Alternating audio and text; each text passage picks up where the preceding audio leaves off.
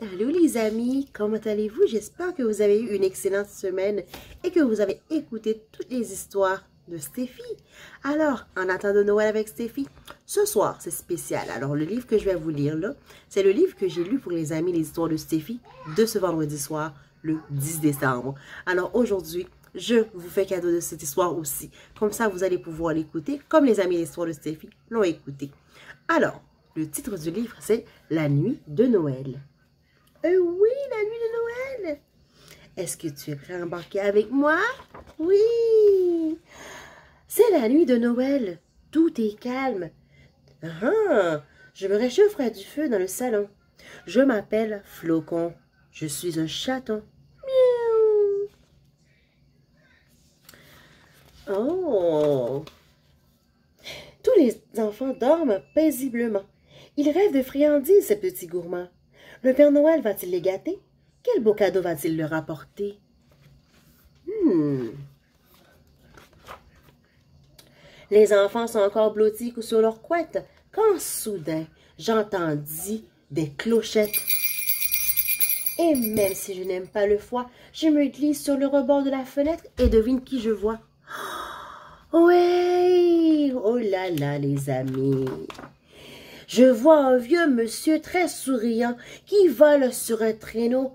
Vole mes reines comme les aigles et les faucons. Nous devons visiter toutes les maisons. Oh, oh là là. Je suis peut-être en train de rêver. Je vois le Père Noël sur le toit de notre maison enneigé. Il a l'air bien chargé, mais euh, où va-t-il entrer? Se demande ça. Il va rentrer où? Il n'est pas aussi agile que les chats, mais le voilà. Boum, patatas. En sortant de la cheminée, il me regarde un peu étonné. Hum. Oh. Bonjour, Flocon, dit-il en riant. J'ai apporté des cadeaux aux enfants. Bienvenue, Père Noël. Le Père Noël est bien dodu. En plus, il est tout barbu.